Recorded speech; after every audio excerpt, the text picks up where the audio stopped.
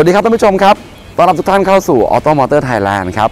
วันนี้เป็นอีกวันนะครับที่ผมจะนำเสนอเรื่องราวของการสนิทพรีวิวรถรุ่นใหม่จาก MG นั่นคือ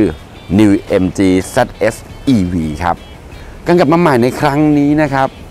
จะถูกนำเสนอให้สาธารณชนได้รับชมนะครับ ตัวเป็นๆเนี่ย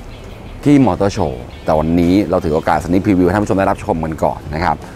New MG ZS EV มีการเปลี่ยนแปลงเกิดขึ้นในหลาย ๆ ด้านนะครับ เริ่มแรกจากรูปลักษณ์ภายนอก First Impression เลยนะที่เห็นนะครับ สังเกตจากกระจังหน้า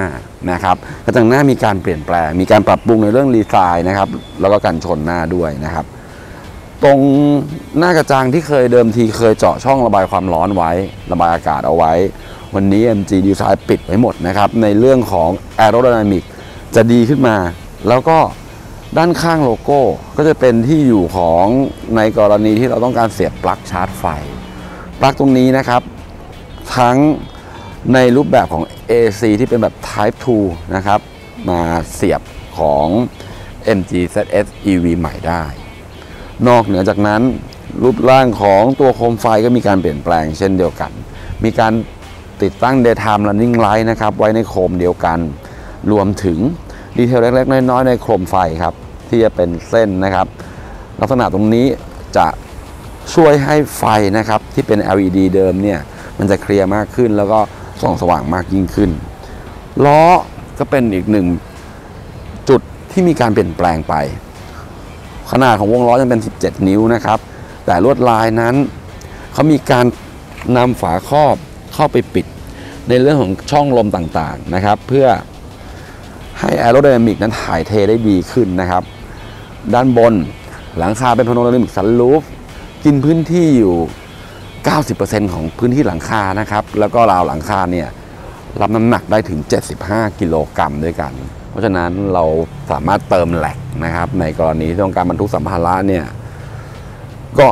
รับน้ำหนักได้แข็งแรงทนทานนะฮะด้านหลังเป็นอีกหนึ่งจุดนะครับที่มีการเปลี่ยนแปลงเกิดขึ้น ตัวไฟท้ายนะฮะ มีการดีไซน์ให้สวยงามมากขึ้นกว่าเดิม ด้านล่างนะครับก็จะมีการติดตั้งเซ็นเซอร์ไว้รอบๆคัน ตัวเทคโนโลยี ADAS นะที่อยู่ใน MG ZS EV คันนี้นะครับ มากับ 20 ฟีเจอร์ ในกรณีตรงนี้ นอกจากเซ็นเซอร์ที่อยู่ด้านหลัง เป็นเรื่องของตัวถอยหลังแล้วนะครับ กล้องหรือเซ็นเซอร์ต่างๆ ที่เขาอยู่บริเวณหน้ากระจัง แล้วก็ตัวกระจกเนี่ย เป็นตัวประมวลผลของ 20 ฟีเจอร์ ในเรื่องความปลอดภัย เป็นการเติมเต็มนะครับ ในส่วนของบางจุดที่ ZS EV เดิมไม่มี วันนี้ MG ใส่ให้เต็มเลย อีกหนึ่งเรื่องที่มีการเปลี่ยนแปลงห้องโดยสารภายในไปดูกันครับ ตกแต่งใหม่นะครับ ดูสปอร์ตดูหล่อดูเข้มมากยิ่งขึ้นครับ นี่ท่านผู้ชมครับเบาะนั่งลวดลายใหม่นะ แล้วก็หุ้มหนังแถมเย็บได้แดงด้วยนะครับ รวมถึงวัสดุต่างๆ ที่เขาใช้เนี่ย ในรูปแบบของ Soft Touch นะครับ มีตัวใช้หนังที่มันเป็นลายเกือบเกือบๆ Kevlar เนี่ยเอามาเติมเต็มในเรื่องความสปอร์ตความเข้มภายในห้องโดยสารนะครับ ดูหล่อครับดูสปอร์ตดีนะฮะตัวหน้าจอนะครับ 7 นิ้วตรงนี้แสดงการทำงานระบบหลาย ๆ ระบบนะ นอกจากตัวของความเร็วนะครับ นอกจากตัวของแบตเตอรี่ พวกฟีเจอร์ต่างๆ ที่เชื่อมต่อกับตัว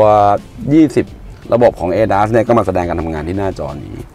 ส่วนจอกลางนะครับ จอกลางเป็นขนาด 10 นิ้ว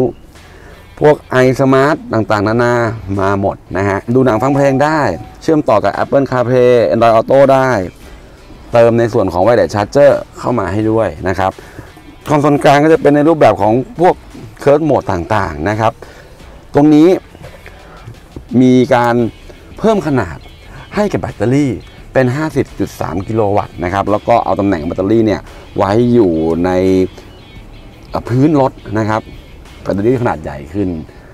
ในกรณีที่ขนาดใหญ่ขึ้นนะ ระยะทางที่เขาทำได้ต่อการชาร์จ 1 ครั้งสำหรับแบตเตอรี่ 50.3 กิโลวัตต์เอาชุดนี้นะครับทำระยะทางได้ 403 กิโลเมตร เป็นตัวเลขที่เคลมมาจากทาง MG เขานะครับ ตรงนี้ ถ้ามีการทดลองขับเกิดขึ้นเดี๋ยวผมรายงานให้ฟังอีกที แต่คุมพลังมาจากมอเตอร์ไฟฟ้าให้กำลัง 177 แรงม้า พร้อมกับแรงบิด 280 นิวตันเมตร ก็ปรับปรุงขึ้นเล็กน้อยนะครับ ทีนี้ต้องไปลองดูกันว่า ตัวการเปลี่ยนแปลงครั้งนี้เนี่ยจะเป็นยังไง New MG ZS EV จะเปิดตัวที่บางกอก International Motor Show นะครับ เปิดราคาจำหน่าย แต่วันนี้เรามาทำในรูปแบบของ Sneak Preview มาเล่าให้ท่านผู้ชมได้รับชมรับฟังกันก่อนสำหรับข้อมูลนะครับ ก่อนที่จะไปสัมผัสตัวจริงที่บางกอกมอเตอร์โชว์นะ ก็ทั้งหมดเป็นเรื่องราวของ New MG ZS EV นะครับ ที่เราได้สัมผัสในครั้งนี้รูปลักษณ์ภายนอกสวยขึ้นนะครับ สมรรถนะดีกว่าเดิมตามตามที่โรงงานผู้ผลิตเขาเคลมเอาไว้นะ เราไปรอรู้ราคากันเอาทั้งหมด เรื่องราวของ New MG ZS EV ที่ Auto Motor Thailand ได้ทำการรีวิว ในรูปแบบ Sneak Preview ให้ท่านผู้ชมได้รับชมในวันนี้ครับ ลากันตรงนี้เลยครับ ฝากกด subscribe กดติดตามกันไว้ด้วยนะครับ กับ Auto Motor Thailand ชื่อนี้เราใช้ทั้ง YouTube Channel แล้วก็ Facebook Fanpage ครับ แต่ในกรณีของเว็บไซต์ เราใช้ชื่อเว็บไซต์ว่า autothailand.com นะครับ ไปอัปเดตข่าวสารกันได้ตามนี้เลยครับ ลาครับ สวัสดีครับ